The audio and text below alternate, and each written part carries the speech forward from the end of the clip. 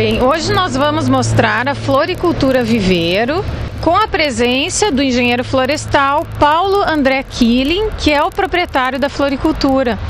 E nada melhor que falar num assunto assim na entrada da primavera, uh, que a gente gosta muito da natureza, de trazer assim aquela sair um pouco de dentro de casa, né? E também curtir o jardim. Então, Paulo, é muito importante para nós mostrar no nosso programa o que que tu tens de bonito aqui na floricultura viveiro. A gente quer saber as técnicas que você usa, assim, com esse conhecimento todo que você tem sobre as plantas e a natureza. Então, assim, fala para nós um pouco uh, o que que as pessoas podem utilizar nas suas residências agora nessa época tão bonita da primavera. Bem, Luciane, o seguinte, agora com a entrada da primavera, né, com esse período aí que as pessoas começam a usar mais o jardim, começa também a preocupação das pessoas de cuidarem mais da, das áreas externas. O pessoal começa a aproveitar mais as suas áreas, né?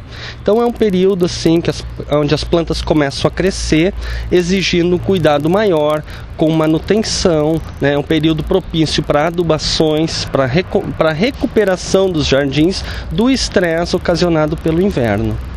Esse inverno foi muito forte, a gente teve muita chuva, frio e uh, agora vem um calor assim, de repente isso prejudica também a natureza? Não, realmente assim, ó, este inverno foi muito mais rigoroso do que os últimos invernos que nós tivemos.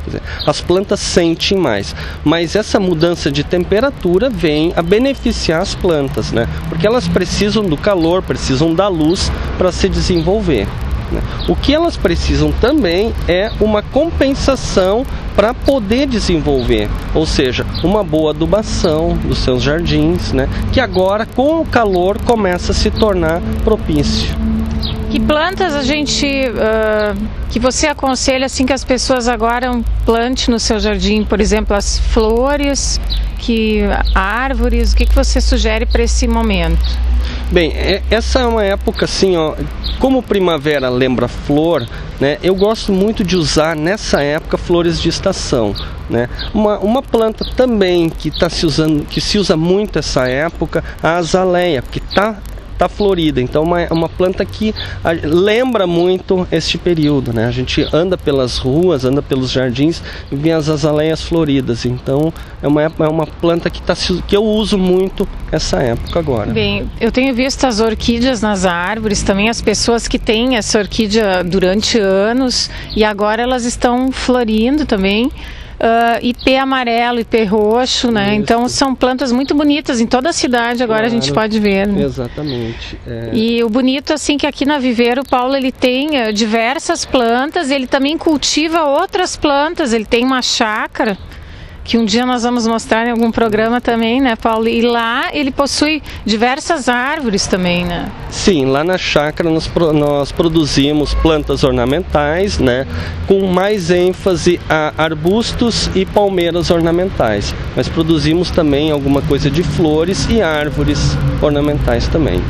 Aqui na floricultura, o Paulo também ele tem pedras, cascas de árvore, vasos, cachepôs, uh, mudinhas. O que, que, mais, Paulo, tu tens aqui? Uh, tu também faz o jardim. Se a pessoa de contrato, arquiteto, decorador ou o próprio cliente, você pode fazer o jardim dar uma renovada, né? Sim, nós temos equipe especializada para tanto montar um jardim, reformar um jardim e também fazer a manutenção desse jardim.